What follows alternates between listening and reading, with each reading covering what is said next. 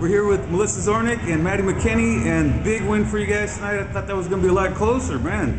Um, tell me about the game, Melissa. Um, well, our team really played really well together. Um, in the beginning of the season, we've been having trouble like putting our like one game we played really good offensively, one game we played really good defensively, and tonight we really just put it together on both ends, and we played really good as a team.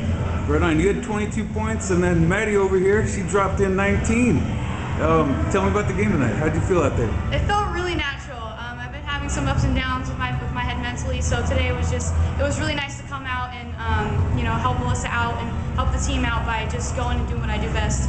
Um, just I had felt like I had nothing to lose, so I was just doing what I did best and just doing pulling that jumper when it wasn't there. I had Mel on the wing and baseline. She just hit her shot, so it was nice.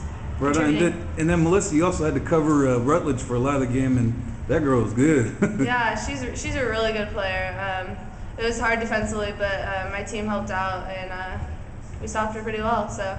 right on. So you're in the semis, and you're going to play. Uh, let's see, the winner of this game is that right? Yeah. To Hills. Yeah. So maybe a, a you know a matchup with South County teams. How do you feel about that, Maddie? I'm really excited. I, I really want to show um, everybody around here that we are the top dogs and we're the ones to beat. We're nine and one right now, and you know we're just continuing to grow. So I think Laguna Hills is gonna be a good challenge for us. Um, so I'm ready to come out tomorrow. I'm ready to play.